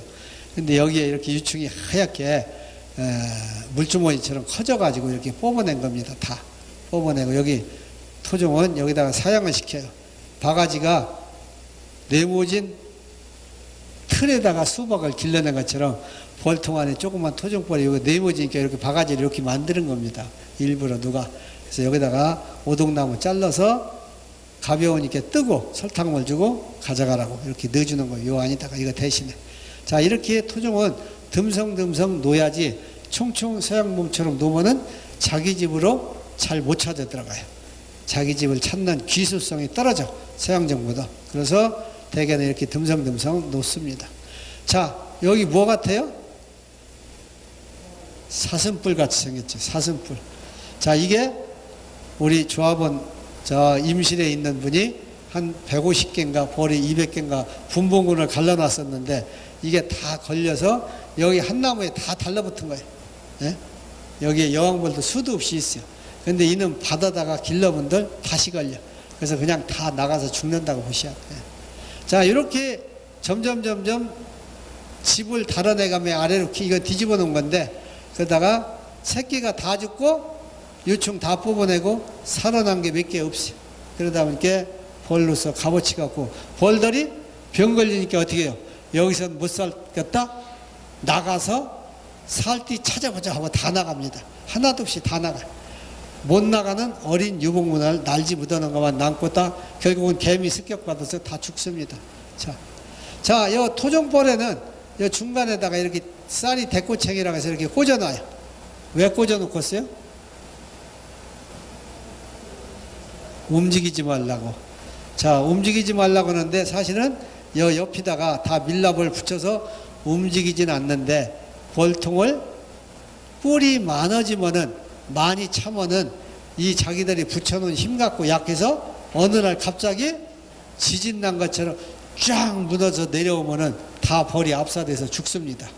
자, 이번에 포항 지진에서 벌들이 필루, 필루피? 필루피 집을 진 거, 밑에다가 주차장 넣고 기둥만 세우는 것들이 보니까 그냥 기둥이 막 다 엿가락처럼 막 하는데 참 암담하대. 한 번만 더 흔들면 그냥 넘어지고 넘어지면 옆이 것도 건물 치면 옆이 것도 넘어질 것 같고 겁이 나 진짜. 어, 그래서 이렇게 찔러 놓는 것들이 다 서양이나 우리나라나 똑같이 이게 경험에서 우러나서 이렇게 하는 겁니다. 예. 부적병에 뭐 약들 여기도 1리터에 이렇게 약을 주라. 원재를 이게 주성분을 가지고 여러분들이 계산을 하셔야 됩니다. 1리터에 물 한 대. 자, 물에다 타서 주는 방법, 설탕에서 타서 주는 뭐 여러 방법이 있는데 제가 그 전에는 양봉인들이 대다수 사양액에다가 타서 줬고 일부 농가들은 또 물에다 타서 꿀 뜨고 나서 계속 소비다가 다 분무를 해줬어요. 근데 요새 항생제가 기준이 생기면서 항생제를 남발하다 보면은 꿀에서 오염이 돼가지고 검출이 돼서 꿀을 팔아먹지 못한 결과가 올 수 있어요. 그러다 보니까 어떻게 보면은 질병은 잘 치유되고 또 항생제로 인한 꿀을 판매하는 데 지장이 없도록 하는 것이 좋지 않을까 이렇게 연구를 하다 보니까 조합원들한테 설문조사를 해봤어요. 그랬더니 사양액에다 타서 준 사람들이 제일 많이 검출되고 물에다 타서 주는 사람이 훨씬 적고 화분떡에다 주는 사람도 별로 없었으니까 아, 검출이 한 사람만 나왔어요. 근데 보편적으로 이렇게 설탕 한 포에 물 한 스푼씩 주니까 설탕 열 포만 준다면은 열 스푼, 100g 정도 이상을 주는 겁니다. 예? 이렇게 이렇게 검출이 돼요. 그런데 급속에다가 준 사람도 그 당시 물 한 말에다가 10g 정도만 주라고 했는데 이 사람은 30g을 줬어. 그러니까 많이 주니까 검출이 된 겁니다. 예. 자, 여기도 마찬가지고 다. 여기는 물 닷대에다가 한 스푼이면은 반말에다가 10리터다가 10g 정도 준폭이 되니까 검출이 되더라 이거죠. 근데 나머지들은 그런 대로 뭐 설탕에다 줬을 때는 대부분 나오더라 이렇게 보시면 되겠어요. 예? 예. 예.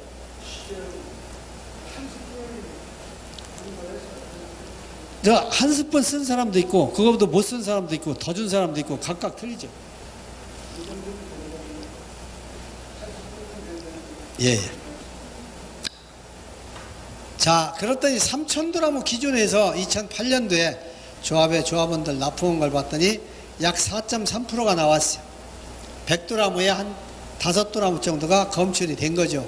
근데 이때는 기준이 100ppb로 기준을 한 겁니다.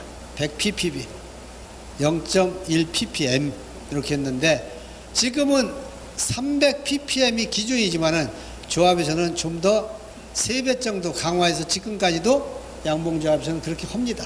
예.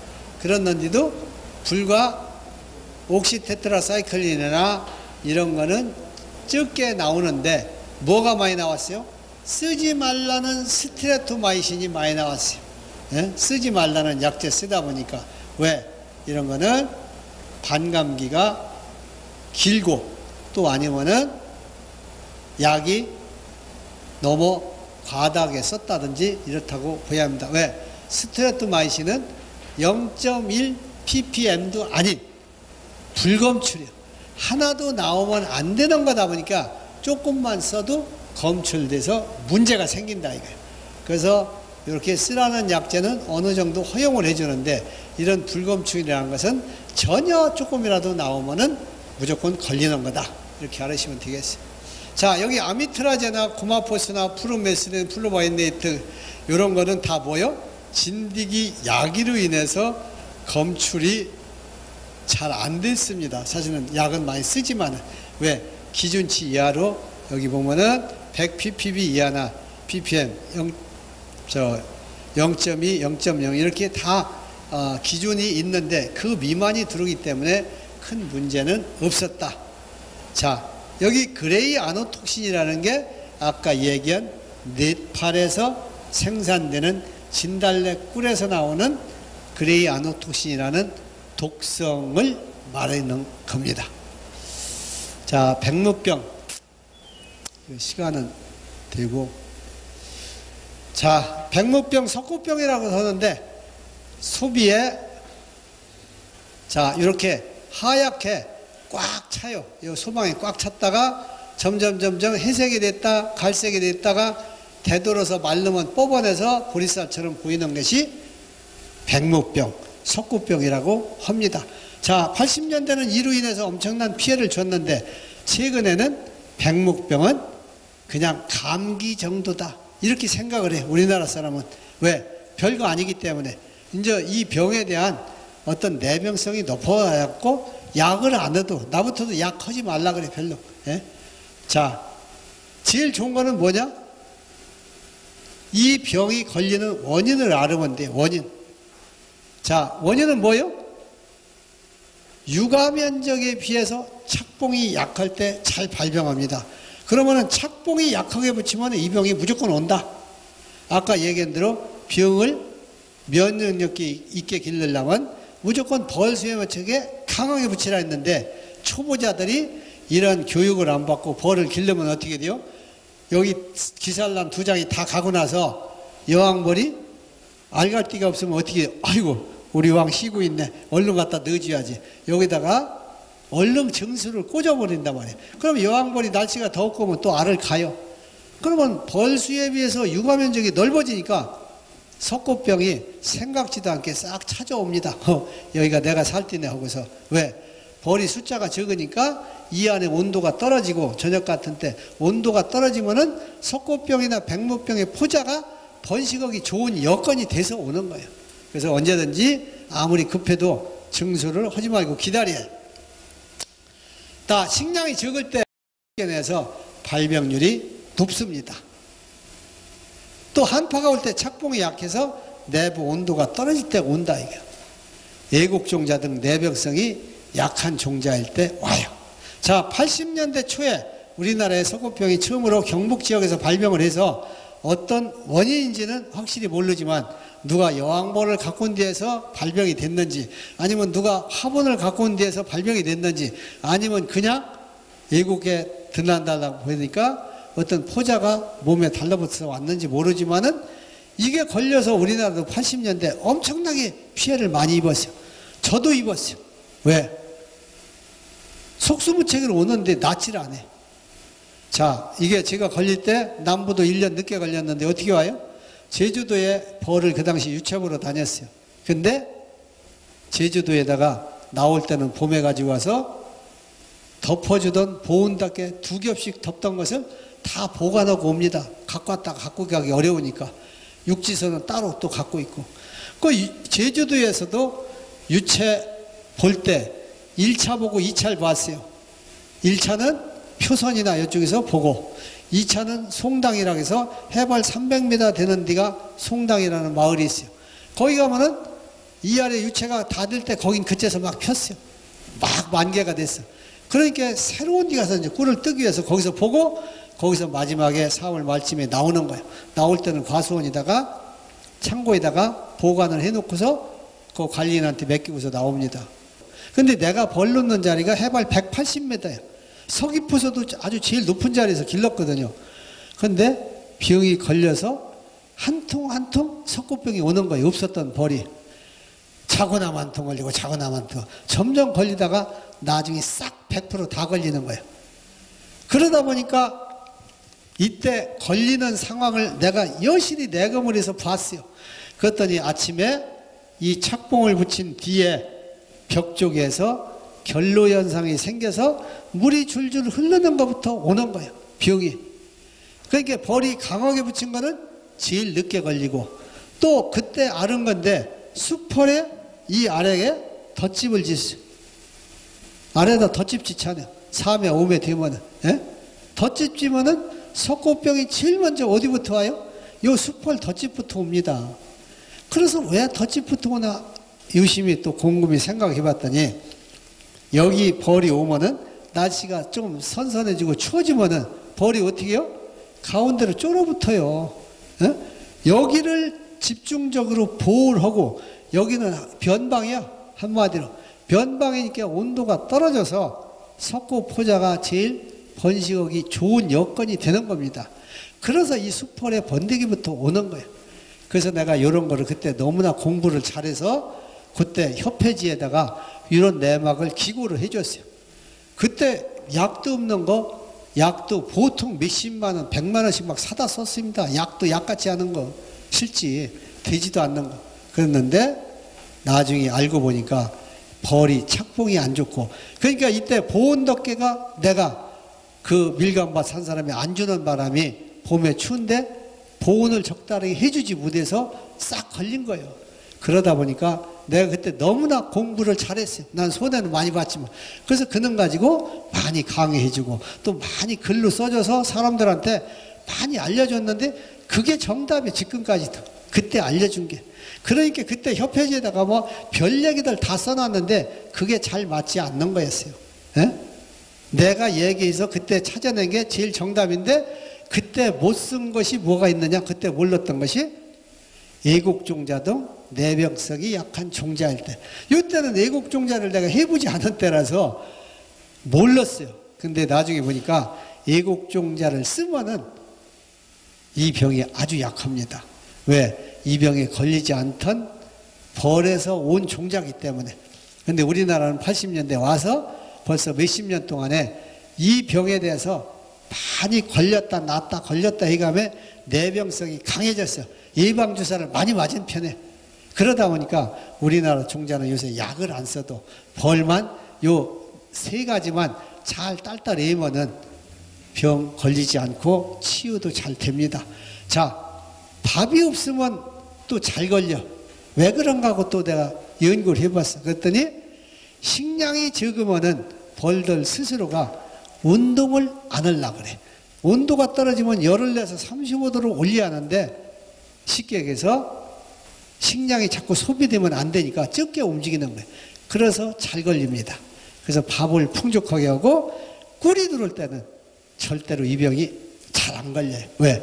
꿀 들어오면은 그놈을 선풍원하라고 열이 나고 35도가 아닌 36도까지 올라가요. 이때는. 그러니까 석고포자가 더욱더 번식하기 나쁜 여건이 되는 거예요. 그래서 괜찮은 겁니다. 그래서 언제든지 착봉 강하게 하고 식량 충분하게 주고 봄벌 결릴 때 한파가 온다든지 온도가 떨어지면 더 덮어주고 무리하게 정수하지 말고 뒷장볼 항시 여유 있게 가지고 다니고 애국종자 쓰지 않고 그럼 석고병은 약 찾을 것도 없고 병이라고 생각할 것도 없다 이렇게 알으시면 되겠어요. 자 오늘 예 예. 예. 저밀방에 충분하게 차 있으면 됩니다. 저밀방에 꿀이 이렇게 쫙 그들먹하게 차 있으면. 예. 근데 이 병이 걸리면은요, 잘 가져가지도 않아요. 식량을 줘도 잘 안 가져가고, 꿀도 잘 안 물어와요. 습도가 자꾸 높아지면은 이게 곰팡이 일종이기 때문에 이 습도가 높아지면 더 발병이 높아요. 그리고 또 한 가지 알아야 될 것이 이 병이 걸렸을 때, 그럴 때, 여 출입구로 자꾸 나옵니다. 포자가. 이걸 자꾸 쓸어다가 태워버리셔야 돼요. 이 포자 한 마리에 엄청난 균이 복균하고 있기 때문에 또 한 가지는 그때 급수기로다가 여기다 급수기를 주지 마세요. 왜? 급수기 혓바닥에 물 가져가는 부위에 입자가 포자가 떨어지면은 그 균이 다른 데물 주는 데로 또 옮기는 역할을 해요. 그래서 급수기를 차라리 주지 말고 그냥 하든지 아니면 급수기를 주더라도 조금 이쪽에다가 끄트머리 아니라 넣지 말고 밖에다가 살짝 걸리게 해서 포자가 그 안으로 들어가지 않게 해주는 것이 좋습니다. 왜? 여기다 꽂아놓으면은 아침 되면은 급수기가 햇빛을 받으면 열이 받고 물이 팽창하고 팽창하면은 벌이 가져가기 전에 넘쳐버려 조금 넘치면은 그 아래 포자 있는 데가 급수기 밑에 이런 데로 물 묻은 것을 딱짝짝짝 빨아갑니다. 그럼 결국은 자꾸 병이 안 낫고 옮기는 역할을 한다. 이렇게 알으시면 되겠어요. 자 오늘 여기까지만 하죠. 예? 예, 시간이 됐습니다. 예.